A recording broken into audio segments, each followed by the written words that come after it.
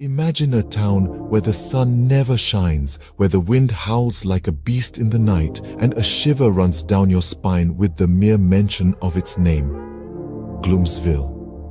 In this town, nestled between the gnarled trees and under the ever-looming shadow of the old, dilapidated church, lies a tale so chilling it could freeze the blood in your veins. A tale of a witch, of a curse, and of a terror that has haunted Gloomsville for centuries. Legend speaks of a woman once beautiful and vibrant, scorned by the townsfolk for her mysterious ways and her unusual friendship with the creatures of the night. They called her the Witch of Gloomsville. One day, driven by fear and superstition, the townsfolk turned against her.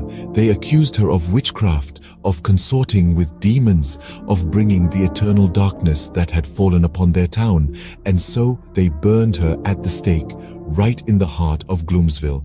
As the flames engulfed her, the witch uttered a curse, a chilling prophecy that would change the fate of Gloomsville forever. Beware, she screamed, her voice echoing through the night. For when the church bell tolls 13 times, a horror unlike any other shall befall this town. Many years have passed since that fateful night. The townsfolk have tried to forget, to move on. But the darkness remains. And every so often, when the wind blows just right, a distant bell toll can be heard, echoing through the town like a ghostly reminder of the curse that hangs over them. And now the night of the prophecy is upon us. The air is thick with fear. The once bustling town is eerily silent. The church bell tolls, its sound piercing the silence. One, two, three.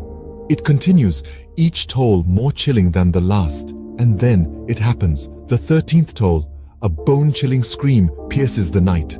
A shadow emerges from the darkness, growing larger and more terrifying with each passing second. The curse of the Witch of Gloomsville has come to pass. But what happens next? What horror has been unleashed upon the town? Well, that's a story for another time. For now, listen closely. Can you hear it? The distant tolling of the bell, the howling of the wind, the whispers of the curse. Remember, in Gloomsville, the night is never truly silent.